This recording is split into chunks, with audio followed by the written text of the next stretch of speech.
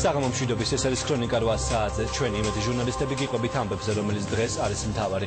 პიკასო ბრუნდება სიღნაღის შემდეგ მე-20 საუკუნის გამოჩენილი მხატვრის ლითოგრაფია და გრავიურები წინანდალში გამოიფინება ჭავჭავაძეების სახლ-მუზეუმში პიკასოსა და პიტ მონდრიანის ექსპოზიცია ხვალ გაიხსნება. ერთხელ ჰოლანდიაში ასე ქვია გამოფენას რომელიც წინანდალს დაეპყრობს. 19 ექსპონატი სწორედ ჰოლანდიის ერთი პატარა ქალაქიდან ჩამოიტანეს. ექსკლუზიურად ქრონიკის ობიექტისათვის დღეს საგამოფენო სივრცე 1 საათით გაიხსნა.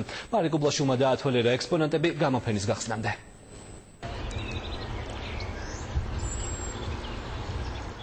წინანდლის ბაღის ჭიშკარი დღეს დილით განსაკუთრებული შემთხვევის გამო გაიღო. გაორმაგებული დაცვის თანხლებით ჭაჭავაძეების სახლ-მუზეუმში პიტ მონდრიანის, პაბლო პიკასოს და ჰოლანდიელი მხატვრების ნამუშევრები ჩამოიტანეს. სალვადორ დალის გამოფენიდან ზუსტად ერთი წლის შემდეგ წინანდალი კლოგრანდიოზული ღონისძიების მასპინძელია. ესეთი დალუქული კუთხებია, რომელშიც ძალიან გერმეტულად და კარგად არის ეს ნამუშევრები. თვითონ აქვს ტემპერატურული რეჟიმის ინარჩუნებს. საკულტაგულოდ შეფუთული 19 ნამუშევარი ორ კონტეინერშია განთავსებული. აქ არის როგორც ჩანს მთელი მონდრიანის ნამუშევრები.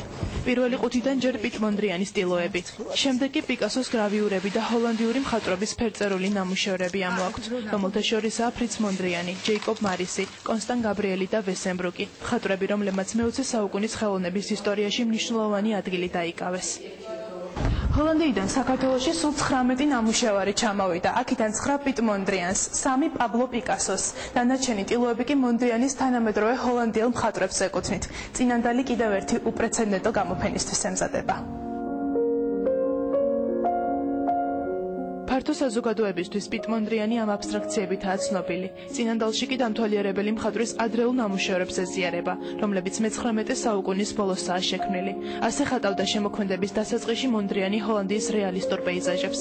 ექსპოზიციაზე 9 ნამუშევარ შორისაა რეჟნენების ორი პორტრეტი. მონდრიანი გატაცებული იყო ხეების თემით, არის მთელი ხეების სერიის ევოლუცია, როგორ გადადის პლასტიკური ფორმა, როგორ იკარგება და როგორ გადადის აბსტრაქციამდე. და ეს არის ერთ-ერთი ადრეული მაგალითი, სადაც ძალიან ისეთი ჩანასახის დონეზეა ჯერ კიდევ გამოყენებული ჰორიზონტალი და ვერტიკალი, თუმცა ნამუშევარი არის საინტერესო თავისი ფერთა გამით, საქართველოს უკვე მეორე სტუმრობს პაბლო პიკასო. მე-20 საუკუნის გენიალური მხატვრის ორი გრავიურა და ერთი ლითოგრაფია გამოფენის გამორჩეული ექსპონატებია. ჩვენი თხოვნით და პიკასოს შემოქმედების ძალიან დიდი სიყვარულიდან გამომდინარე ვთხოვეთ, რომ ექსპოზიციაში ეს სამი ნამუშევარიც ყოფილიყო ჩართული. წარმოდგენილია ერთი ლითოგრაფიული ნამუშევარი 50-იან წლებში შესული და შესრულებული და ორი გრაფიკული გრავიურა, რომელიც მოგვიანებით არის შესრულებული. ერთხელ ჰოლანდიაში გამოფენა ჭავჭავაძეების სახლ-მუზეუმში ორი თვე გაგრძელდება. ექსპოზიციის გახსნაზე კი წინანდალში სტუმრებს ხვალ 2 საათიდან ელოდებიან.